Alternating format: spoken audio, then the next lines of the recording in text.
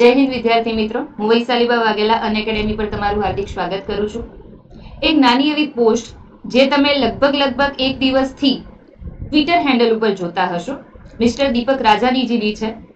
Gujarat board સેવા પસંદગી board દ્વારા આપણે જુનિયર ક્લર્ક સિનિયર ક્લર્ક અને હેડ ક્લર્ક છે, એના માટેના માંગણા પત્ર મંગાવવાની કાર્યવાહી ગવર્મેન્ટે ચાલુ કરી દીધી છે. અને તમે માનીને ચાલી શકો છો ભાઈ સાત હજાર કે એની આસપાસ કે પ્લસ માઇનસમાં આ જે પોસ્ટ જે આપણે નામ જોયા ને, એ પોસ્ટ આવવાની છે. તો એવી એક હોપ બંધાઈ છે કે ભાઈ આ પોસ્ટ છે, એની ભરતી પ્રક્રિયા સપ્ટેમ્બર, ઓક્ટોબરમાં જે છે, શું એક નોટિફિકેશન ડિક્લેર થાય અને લગભગ લગભગ એક મહિનામાં આ પરીક્ષા લેવાઈ જાય. પણ હવે ઘણા બધા વિદ્યાર્થી મિત્રોને અહીંયા એવું કન્ફ્યુઝન હશે કે મેડમ, આ એક્ઝામની પદ્ધતિ આ તે અમે આવું સાંભળેલું છે એક્ઝેક્ટલી શું હશે? તો તમને ખ્યાલ જ છે ને એ અને બી ગ્રુપ બંને વહેંચી દેવામાં આવ્યા છે. જે ગ્રુપ એ છે ને, વિદ્યાર્થી મિત્રો, એની આ એક્ઝામ છે.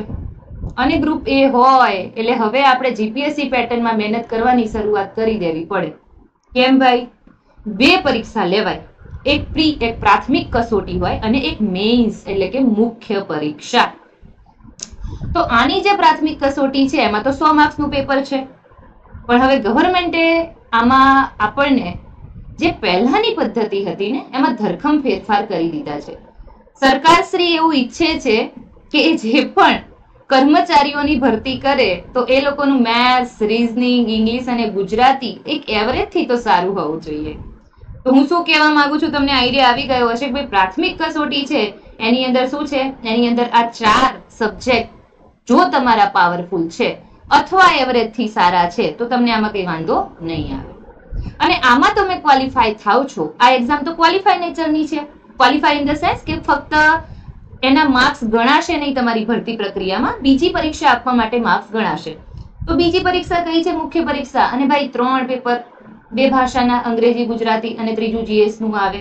કોઈ ટેકનિકલ ફિલ્ડનું હોય તો ટેકનિકલનું અલગથી આવે. બરોબર? પણ હાલ તો આપણે આ ચાલીને આમાં એવું, મતલબ આ ગણીને ચાલી શકીએ છીએ.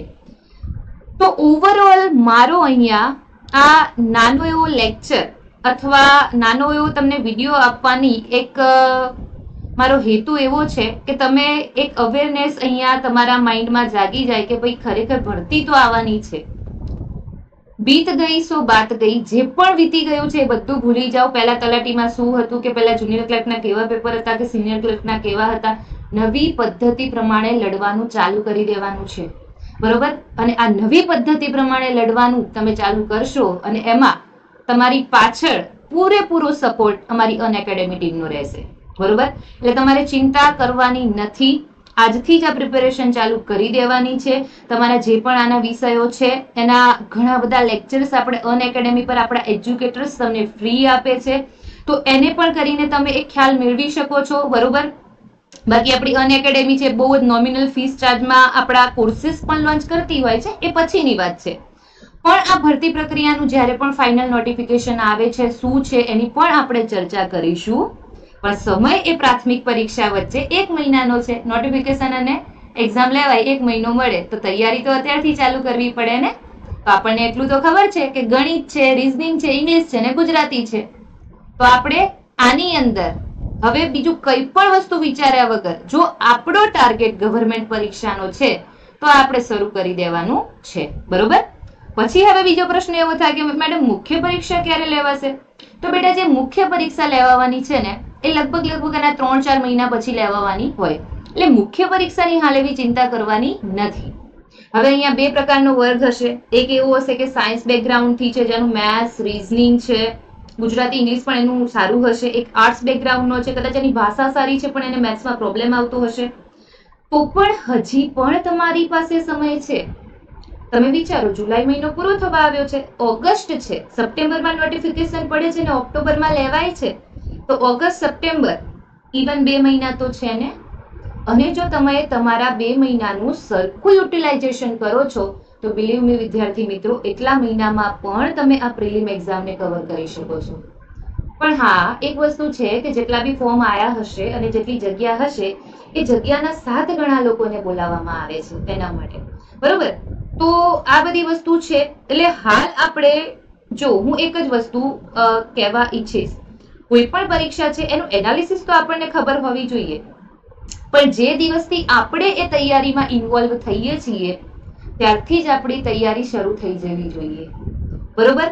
અને એક પ્રોપર એનાલિસિસ કરીને તમારે તમારી તૈયારીને અંજામ આપી દેવો જોઈએ. તો હવે આપણી પાસે એવો સમય નથી. તમે અનએકેડેમીના એજ્યુકેટર સાથે જોઈન થાઓ અને તમને જે પણ હેલ્પ જોઈએ છીએ, એના માટે અમે અહીંયા છીએ.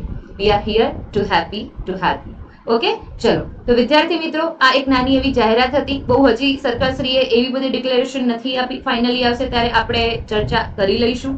બરોબર? અને સ્ટે કનેક્ટેડ બાકી તો તમે મારી સાથે લેક્ચર્સમાં કનેક્ટ થઈ શકો છો.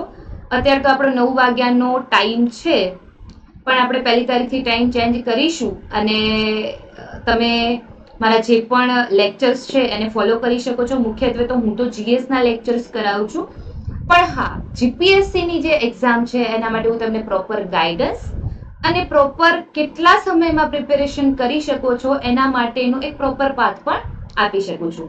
તો આપણે કનેક્ટેડ રહીશું અને સાથે સાથે શીખતા રહીશું. થેન્ક યુ સો મચ જય હિન્દ, જય ભારત.